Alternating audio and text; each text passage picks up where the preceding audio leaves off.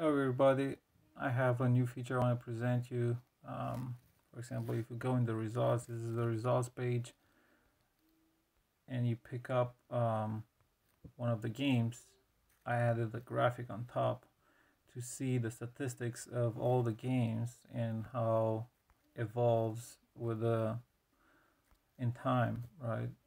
Um, for example, you can pick up different graphics, the min ball, the average of balls, and the max ball.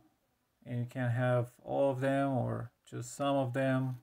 Um, and you can see when you scroll where the value is uh, and you tap on the graphic and the same will show you the values um, every time it happened and is in the graphic for example February 2nd right is this um, value here when you tap on the card you can see the statistics uh, for that particular draw.